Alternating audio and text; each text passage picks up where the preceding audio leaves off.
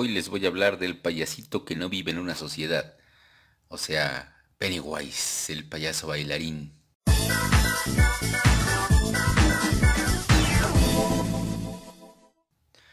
Eh, Saben, me gusta mucho la película del... La, miniserie de dos capítulos. vamos a decirle película. La primera versión que hicieron de It, aunque sí, porque me gusta mucho porque de niño fue así de, oh, esta película dicen que es súper terrorífica y que es súper trauma gente, yo la voy a ver porque yo soy bien, bien, bien machote.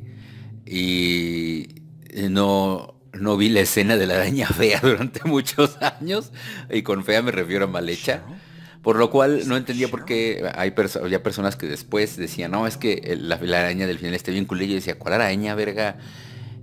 La película la volví a ver ya eh, tal vez de veintitantos años y dije, ah, esa araña.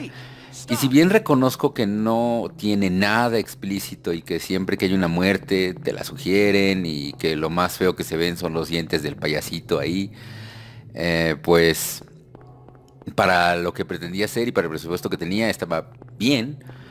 Y también estoy consciente de que querían hacer una adaptación un poco más fiel del libro, el cual no he leído, antes de que digan, oh, es que tienes que leer el libro, y ya sé, no lo he leído, pero eh, sé que, aunque no he leído el libro, estoy consciente de una cosa.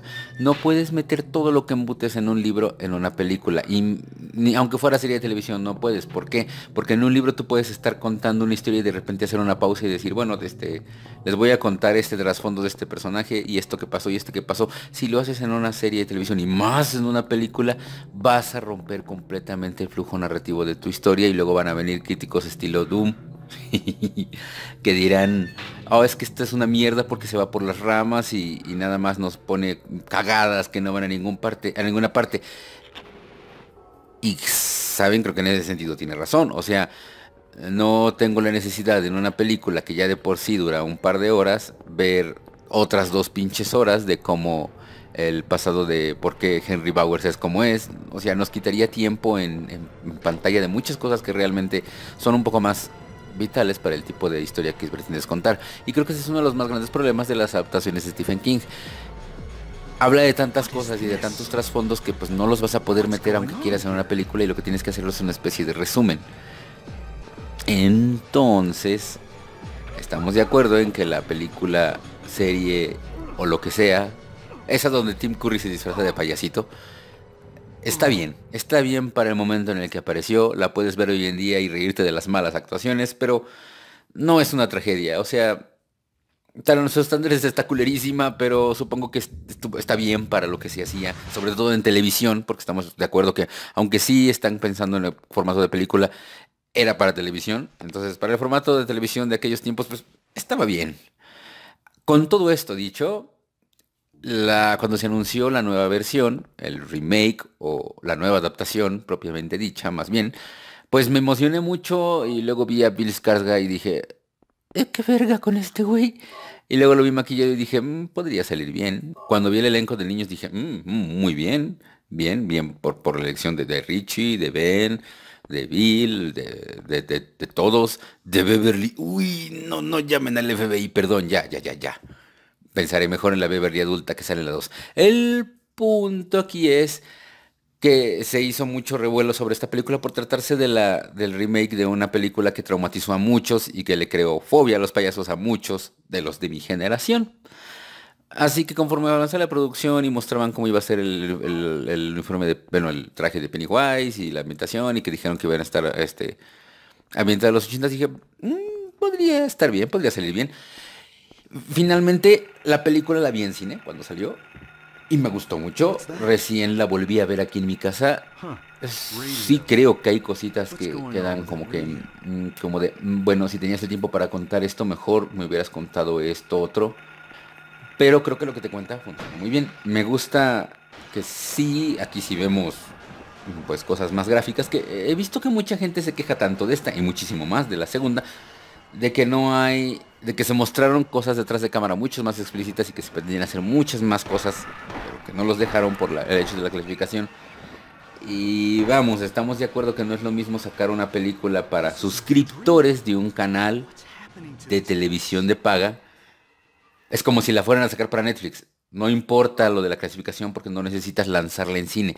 En esos tiempos era eso, era un canal de paga y pues bueno, no importaba tanto esto. Ahora sí, porque se necesita recaudar taquilla. O sea, vivimos en una sociedad donde las películas de, Marvel y el super blockbuster que atrae gente a, las, a las salas de cine han hecho que, que ahora más que nunca la taquilla se tenga que recuperar sí o sí, que tengas que atraer a la mayor cantidad de gente y restringir una película con un presupuesto tan alto encaminada a hacer una renovación de, un, de, una película que mucha gente tiene tan alta estima y que recuerda y que no diría de culto porque pues, mucha gente la ha visto, pues necesitabas atraer a una mayor cantidad de público. Es más, cuando fui a ver la 2, había niños en la sala, niños con sus padres y todo, y no salieron tan, traumatizados que digamos, salieron así como de, wow, pinche payaso satánico, Jeff Tequila, pero del diablo. Y creo que está bien si un padre, o sea, ya no eran niños chiquitos, o sea, eran niños como de 10 años, o sea, es la edad más o menos en la que yo la vi y supongo que, y yo no tenía a mis papás ahí al lado, así que supongo que está bien, eh, eh, está bien haber querido bajar un, bajar un poco la, clasificación.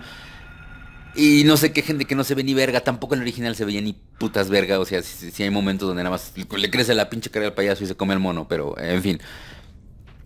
Me gustó la actuación de los niños, me gustó como, su dinámica. Yo sé que muchos dicen, ah, es que los chistes son sonetos, estilo Marvel, le chinga. Y pues sí, pero para mí funcionan.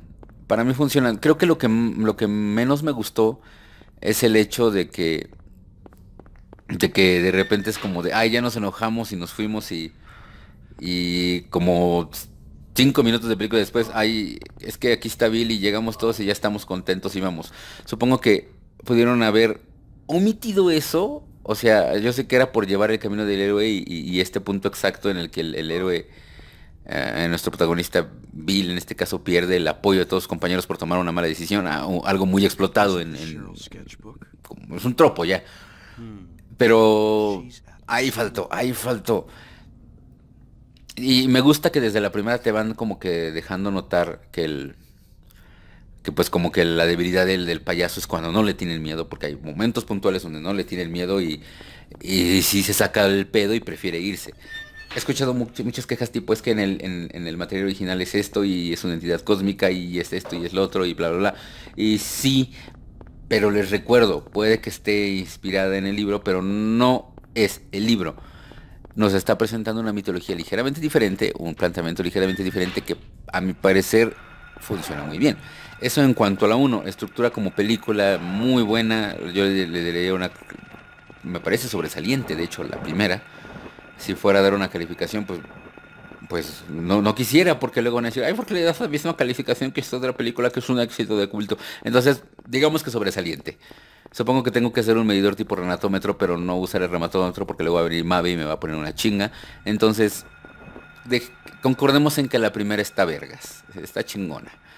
Ahora, en cuanto a la segunda, em, lo primero que me saltó en cuanto aparecen eh, flashbacks, bueno, momentos de cuando los niños son niños, es que esas escenas obviamente no se grabaron durante el rodaje de la película, sino durante el rodaje de la secuela del, capítulo 2, del Chapter 2.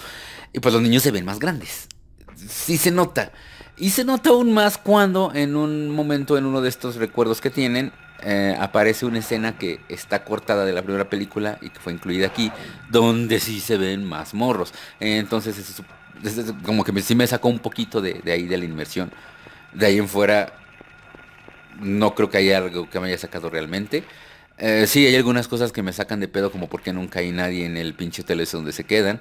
Pero supongo que sobrepensándolo un poco, em, pues es esto que dicen en el libro de que de que pues Derry está, eh, está construido sobre, por y para la fuerza de Pennywise, es como si fuera un, un invernadero para alimento de él y que pues bueno, si los adultos no ven ni hacen nada por las cosas que están pasando es por, por Pennywise, por la misma fuerza que tiene sobre este pueblo. Lo cual funciona muy bien para justificarlo, pero si nos vamos a mi argumento anterior de que no estamos viendo el, leyendo el libro, sino viendo una película, sí hace falta una explicación. Y hace falta demasiado, porque la gente en este pueblo son unos culeros. Y la, y la policía no hace nada. Pero pues dejémosla ahí. Hablando un poquito de, de, esto, de que se le rebajó el tono y de que muchas cosas supuestamente dicen iban a ser mucho más violentas y sangrientas, creo que como quedaron están bien, pero el gran problema es que la película deja de ser de terror y pasa a ser más bien un suspense.